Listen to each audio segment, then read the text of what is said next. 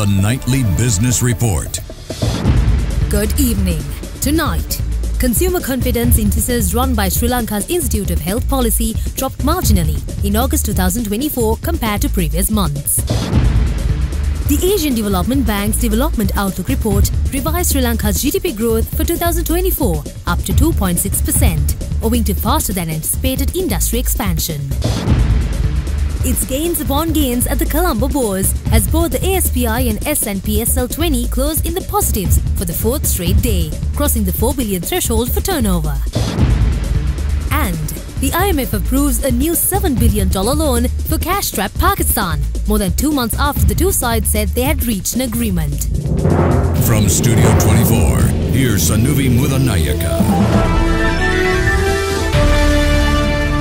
Good evening and thank you for joining us.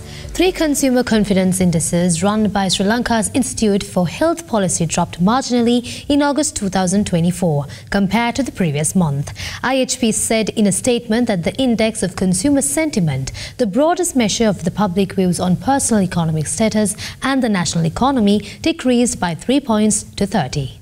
The index of consumer expectations, which tracks future perceptions, fell by 4 points to 31, and the index of current conditions, a measure of perceptions of current conditions, dropped 3 points to 28. The decrease is primarily due to growing pessimism about the country's prospects over the next 5 years. All IHP Sri Lanka Opinion Tracker survey consumer confidence indices range from 0 to a potential maximum of 100, with levels below 50 indicating net pessimism. The CCI estimates are based on 19,233 interviews conducted between the 21st of October 2021 to the 7th of September this year, including 1,150 interviews conducted in August of this year, with sample sizes varying between indices depending on response rates. All estimates are adjusted to be representative of the national population, including gender, age, ethnicity, and income level.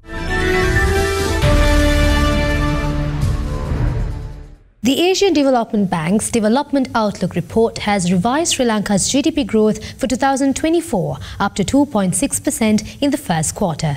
Industry expanded faster than anticipated alongside modest growth in services and agriculture. Forward-looking indicators suggest continued robust growth in 2024 and beyond, supported by looser monetary policy, better public financial management and progress in debt restructuring. Downside risks include a loss in reform momentum and delay in finalizing debt relief agreements. Sri Lanka's inflation remained muted in the first half of 2024 and is now forecast to be lower this year than projected in April. Following the value-added tax rate hike, the Colombo Consumer Price Index edged up to 6.4% year on year in January before easing to 5.9% in February. The inflation forecast for 2025 remains unchanged on the expectation of faster growth. Downside risks in Sri Lanka include delay in finalizing debt relief agreements, unpredictable weather, and spillover from geopolitical tensions. Meanwhile, the sub-regional economic growth forecast is unchanged from ADO April 2024 and slightly lower for 2025. The growth outlook for most countries in the sub-region has either unchanged or improved since April. The International Chamber of Commerce Sri Lanka yesterday announced the signing of a Memorandum of Understanding with Port City Colombo. This strategic partnership aims to enhance collaboration in promoting Port City Colombo as a prime investment destination for local and international investors. The MOU signed during a ceremony attended by leading business figures and dignitaries outlines a framework for the ICC to extend invitations, sponsorships and host events and seminars that spotlight the unique opportunities offered by Port Port City, Colombo. This initiative is geared towards attracting potential investors from Sri Lanka and around the world, fostering a thriving business environment in this transformative urban development. As part of this partnership, ICC members and nominated parties will gain valuable opportunities to conduct business within Port City, Colombo, enabling them to leverage its state-of-the-art facilities and strategic location. The total employment in the tourism sector, including indirect employment, rose by 11.24% year-on-year to 429,641 employees in 2023, according to the provisional data of the Sri Lanka Tourism Development Authority.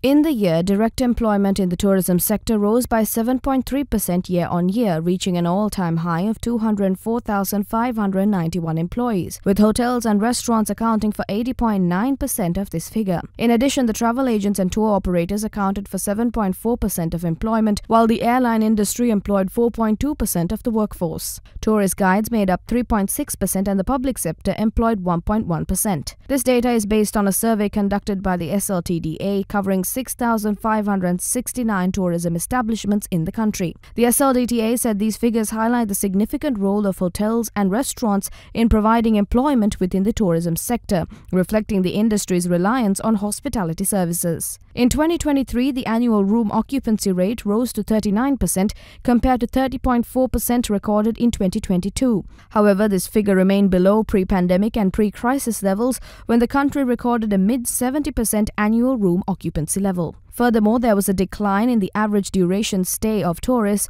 which fell to 8.4 nights from 9 nights on average a year earlier. Let's take a short commercial break. Market updates on the other side. This is a nightly business report.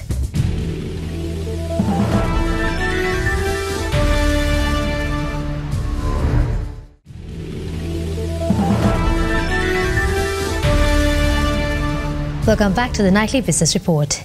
It's gains upon gains at the Colombo bourse as both the ASPI and S&P SL20 closed in the positives for the fourth straight day, crossing the 4 billion threshold for turnover. To get a summary for how the market performed today, we now connect with Minal Wickremege from First Alliance Securities. Today, the Colombo Stock Exchange experienced a roller coaster of movements of heavy buying and selling, yet ended the day on positive terms.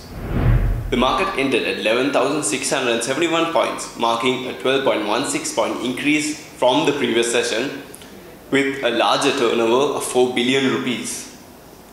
The S&P SL20 index also experienced an upward movement of 31.99 points to end the day at 3,399.44 points. Notable institutional engagement was observed across various sectors, with high turnovers and crossings recorded on Hatton National Bank, East West Properties, and Commercial Bank. The top five gainers for the day were Nation Lanka Finance, Blue Diamonds Jewelry, Industrial Asphalts, Asia Asset Finance, and SMB Leasing.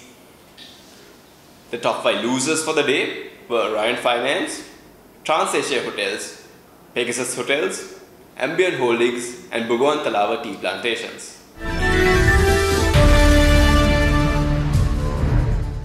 The Purchasing Managers Index for manufacturing and services have seen an expansion of 50%. To get an understanding of how this reflects upon the labour market and the economy, we now have with us Zaima Jihan from First Capital Holdings.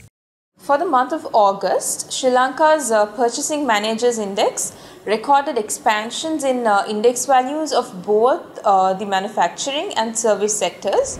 Uh, the PMI for manufacturing recorded an index value of 55.5, uh, indicating an expansion in activities, uh, however, at a slower rate. Within the sub indices, new orders and productions saw expansion led by manufacturing of food and beverage sector. In line with this, stock of purchases also expanded during the month. However, uh, employment decreased on a month on month basis while uh, suppliers' delivery time continued to lengthen during the month. Uh, expectations for manufacturing activities over the next three months remain positive, uh, primarily due to the optimistic outlook uh, on the year end seasonal demand, uh, in spite of the uncertainties that emerged amidst the elections. Uh, PMI for services was recorded at uh, 65.2, expanding at a slower rate uh, similar to the manufacturing sector.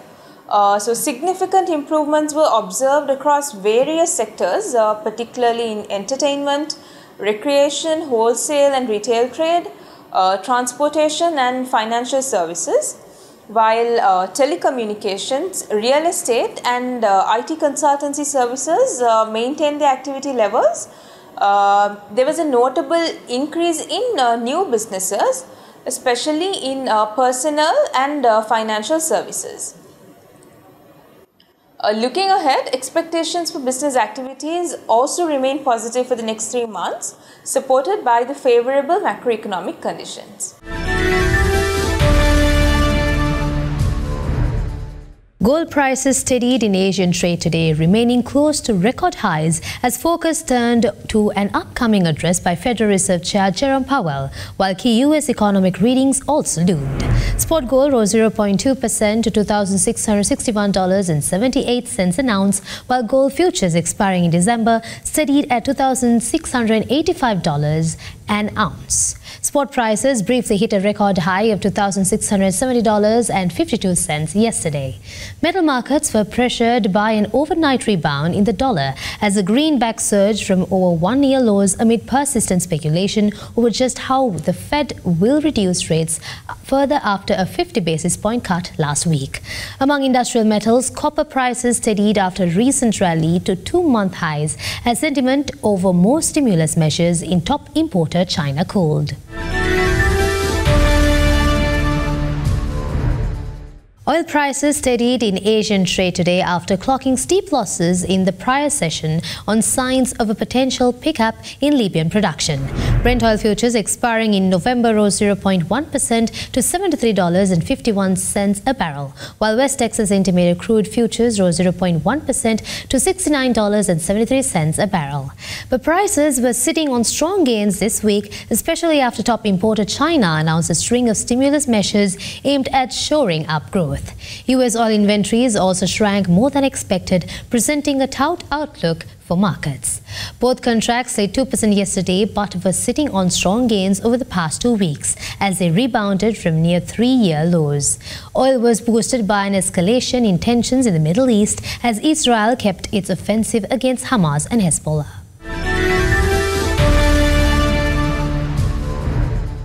The Sri Lankan rupee has strengthened against the US dollar today. Commercial banks' buying rate decreased from 296 rupees and 54 cents to 294 rupees and 31 cents, while the selling rate fell from 306 rupees and 25 cents to rupees 304.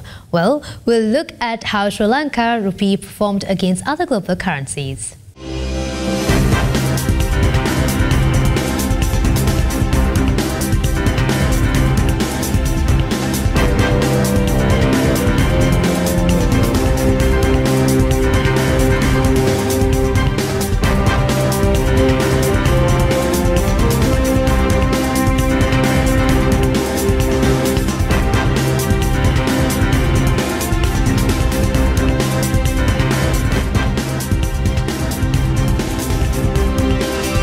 Let's take a short commercial break. This is the Nightly Business Report.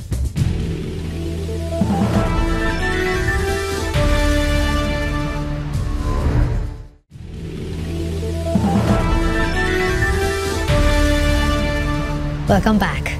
Hong Kong's home carrier Cathay Pacific has announced a new winter schedule for 2024 and 2025 and now will be operating four return flights per week from the current three between Colombo's Bandaranaike International Airport and Hong Kong from the 2nd of January 2025 to 1st March 2025. Cathay Regional General Manager for South Asia, Middle East and Africa, Rakesh Raikar, said they also have plans to further increase the frequency to five return flights per week from the 2nd March 2025 to the 30th of March 2025. These flights will be operated by the airline's Airbus A330 aircraft, equipped with flatbeds in business class as well as premium economy and economy cabins. Customers wishing to continue their journey to onward destinations can connect on to flights to other cities via Cathay Pacific's home hub, Hong Kong. The additional frequency also means additional belly capacity for cargo services from Colombo. This increased capacity allows Cathay to offer more priority shipment solutions for the Colombo market, meeting the growing demand for efficient and reliable cargo services. AIA Insurance proudly announced the launch of AIA Save Smart, the smartest and highly customizable life insurance plan designed to meet the diverse financial needs of Sri Lankans at every stage of life. The launch event was held at Cinnamon Lakeside, Colombo, and the event was graced by the executive committee, senior management, and top tier sales force of AIA Insurance. AIA Save Smart stands out as the smartest choice for anyone looking to secure their financial future. The plans can be uniquely tailored to the specific nature of the customer's savings requirements, providing unparalleled flexibility. From funding a child's education to building a health fund or planning for retirement, AIA Save Smart caters to the savings needs of different generations, ensuring a comprehensive solution that grows with the client. In addition to its investment benefits, AIA Save Smart offers a wide range of health and protection benefits, ensuring that all individuals' unique requirements are met with the highest level of care and attention.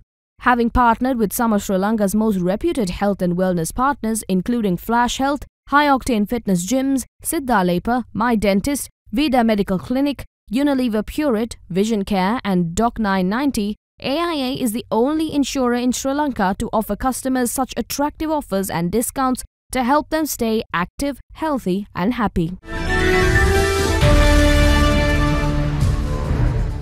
Hayleys takes its top spot in the 31st edition of Sri Lanka's pioneering listed company rankings for the financial year 2023-24. With a consolidated revenue in excess of 436 billion rupees, the conglomerate secures the top spot in Sri Lanka's version of the Fortune 500 this year.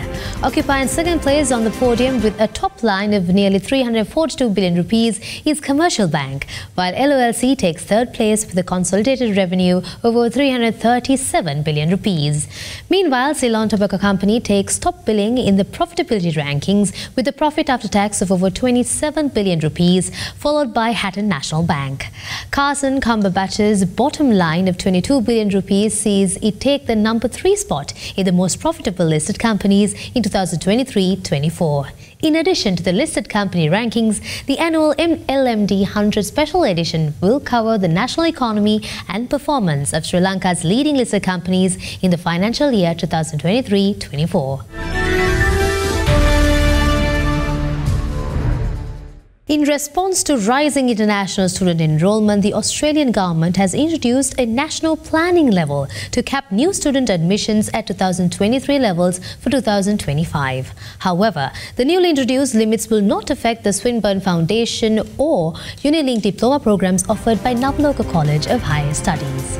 This decision intends to facilitate Australian education and training providers to manage the rising demand effectively. The NPL will further ensure that training providers are well equipped to continue to offer high quality programs, deliver comprehensive student support services, and best prepare their students for future employment in their chosen careers. As the UGC accredited academic arm of Navaloka Holdings, NCHS collaborates closely with Swinburne University of Technology, Australia to deliver these prestigious pathway programs in Sri Lanka.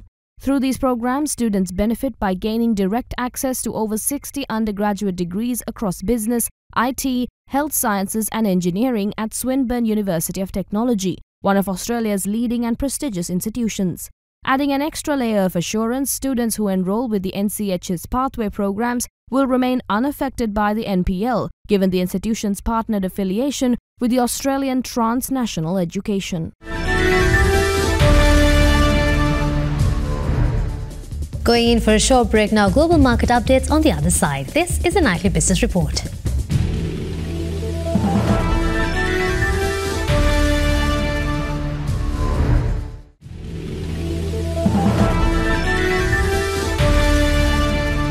Welcome back to the Nightly Business Report. Asian stocks bucked the global trend to extend a China-led rally today, fueled by persistent optimism over the country's aggressive stimulus package and news that more support could be in the works. Brent crude futures were 0.88% to $72.81 a barrel, while U.S. crude shed 0.9% to $69.06 per barrel. Chinese stocks extended their gains on the back of the announcement, with CSI 300 blue chip index last up 1.9%. The Shanghai Composite Index advanced 1.62%. Hong Kong's Hang Seng Index rose 3%, while the Hang Seng Mainland Properties Index surged 9%. That propelled MSCI's broadest index of Asia Pacific as outside Japan to an over two-year high with the index last up 1.5%. Japan's Nikkei similarly rode the wave of buying and gained 2.5%. The DOW and S&P 500 closed lower as investors awaited economic indicators and signals on upcoming interest rate cuts. U.S. stocks closed mostly lower on Wednesday as investors awaited further economic data and signals on upcoming interest rate cuts. The Dow dropped seven tenths of a percent, the S&P 500 slid two tenths, and the Nasdaq ended flat. The three main indexes were positioned for monthly gains after the Federal Reserve's rate cut on September 18th bolstered hopes for a soft landing. But weak consumer sentiment data this week fed into slowing labor market fears, with stocks on Wednesday giving back some recent gains. Stocks on the move included Amgen, down 5.5%, following mixed data on two drugs, sparking concerns over heightened competition. Shares of Apple ended lower as annual iPhone sales slipped in China, according to data from a government affiliated research firm. Shares of KB Home slipped more than 5% after the company posted a downbeat third quarter profit. And shares of Ford and General Motors each fell more than 4% after Morgan Stanley lowered its recommendations on the automakers. On the flip side, Hewlett Packard Enterprise topped the S&P 500 with a more than 5% gain after Barclays upgraded the stock's rating. The Executive Board of International Monetary Fund has approved a new $7 billion loan for cash-strapped Pakistan, more than two months after the two sides said they had reached an agreement. The loan, which Islamabad will receive in installments over 37 months, is aimed at boosting Pakistan's ailing economy. Prime Minister Shehbaz Sharif, in a statement, hailed the deal that his team had been negotiating with the IMF since June. He thanked Kristalina Georgieva, the head of the IMF, and her team for the approval. The global lender said its immediate disbursement will be about 1 billion US dollars. In a statement, it praised Pakistan for taking key steps to restore economic stability. Growth has rebounded, inflation has fallen to single single digits and a calm foreign exchange market have allowed the rebuilding of reserve buffers. But it also criticized authorities. The IMF warned that despite the progress, Pakistan's vulnerabilities and structural challenges remain formidable. It said a difficult business environment, weak governance, and an outsized role of the state hindered investment, while the tax base remained too narrow. And that wraps up the stories we have to report to you tonight on the Nightly Business Report. Join us again tomorrow for more key updates across the business group. I'm Sani Mudanayaka. Thank you for watching. Good night.